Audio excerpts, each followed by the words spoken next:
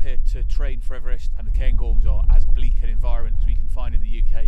High altitude mountaineering is obviously a, a fairly hazardous occupation and rescue becomes very, very difficult.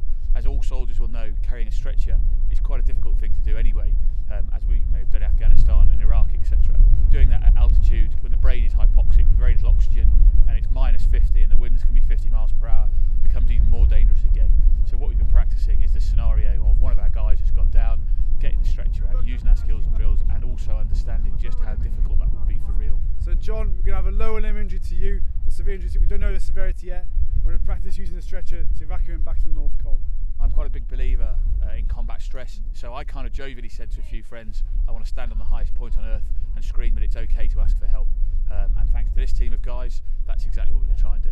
Team is stopped, we have a casualty, we're going to carry out an assessment. Well, I've now done two tours of Afghanistan. Um, as a reserve officer, Found when out in operations, I've worked in Nadi Ali and Shawkat and Helmand Province. Um, you know, it's a pressured environment. We've gone out for what we thought would be um, a fairly standard sort of hearts and minds campaign to meet some of the locals. Um, and as we walked into you know, one of the particular compounds just outside Shawkat in Nadi Ali, the gunfire starts to ring out. You know, the adrenaline instantly starts to to pick up. So suddenly your mental state is switched from one extreme to the other. And we're with a large group of you know very young guys from infantry regiment that had only been in theatre for a few weeks. Um, and suddenly the guys look to the senior NCOs and they look to the officers to get control of that situation. And you become very aware that your lives are very codependent upon each other's ability to do their work.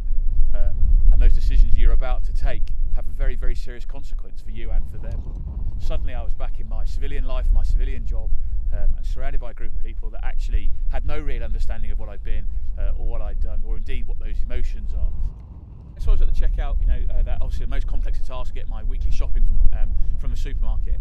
And in fact, I'd asked the girl behind the checkout to swap something over for me. And she pretty much ignored me.